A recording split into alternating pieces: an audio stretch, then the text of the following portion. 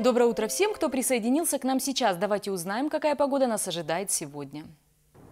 Карачаево-Черкесия без осадков. Ветер юго-восточный 3,8 метров в секунду. Температура воздуха ночью от минус 3 градусов до плюс 2. В горах местами до 8 мороза. Днем плюс 11, плюс 16 градусов. В горах местами до 6 тепла. В Черкеске без осадков. Ветер юго-восточный 3,8 метров в секунду. Ночью ожидается 0 плюс 2. Днем потеплеет до плюс 16.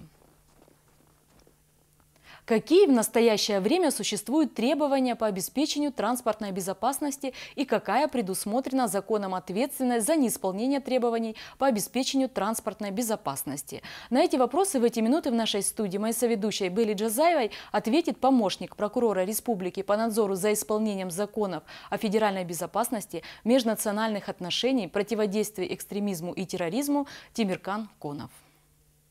Доброе утро всем. Доброе утро, Тимиркан Тауканович. Я благодарю вас за то, что вы нашли время, пришли сегодня к нам в гости.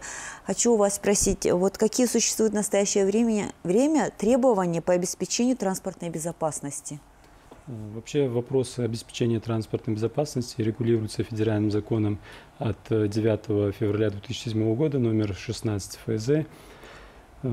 Э, и рядом постановлений правительства Российской Федерации и иными нормативно-правовыми актами. Обеспечение транспортной безопасности объектов транспортной инфраструктуры и транспортных средств э, э, возлагается на их собственников. Э, объектами транспортной инфраструктуры все объекты транспортной инфраструктуры подлежат обязательному категорированию. К таким объектам относятся это автомобили, перевозящие Это автомобили, перевозящие э, пассажиров, э, самолеты, железнодорожный транспорт, э, автовокзалы, аэропорты, мосты, тоннели и другие. Критерии категорирования объектов транспортной инфраструктуры и транспортных средств предусмотрены законом.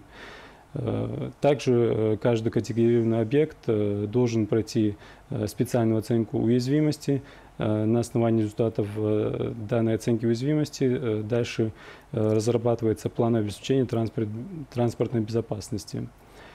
При этом, в соответствии с изменениями, внесенными 2 августа 2019 года в Федеральный закон о транспортной безопасности, для транспортных средств 20 марта 2020 года категорирование отменено, Э, специальная оценка уязвимости замещается на проведение обследования объектов транспортной инфраструктуры э, и транспортного средства.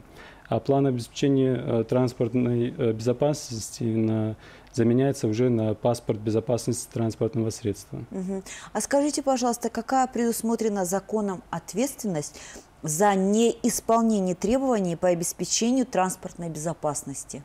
Э, за нарушение требований э, в области транспортной безопасности статьей 11.15.1 э, Кодекса об административных правонарушениях Российской Федерации предусмотрена административная ответственность. Санкция данной статьи в зависимости от того, кто совершил административное правонарушение, это физическое лицо, должностное лицо, индивидуальный предприниматель, либо юридическое лицо. Санкция предусматривает штраф в виде в размере от 3 э, до 100 тысяч рублей. Э, в случаях повторного совершения данного административного правонарушения э, санкция также предусматривает административное приостановление деятельности на срок до 90 суток.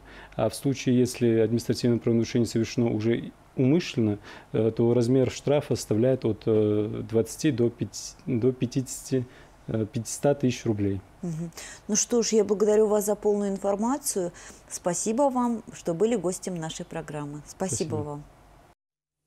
Следующий выпуск «Вестей» смотрите в 11.25 с ведущей Аллой Динаевой. Хорошего дня, до завтра.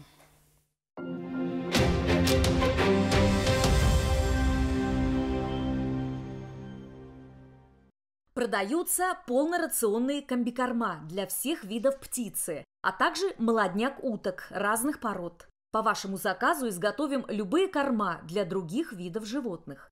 Плем репродуктор Зеленчукский. Телефон 8, код 87 878 5 45 70 и 8 925 711 98 90.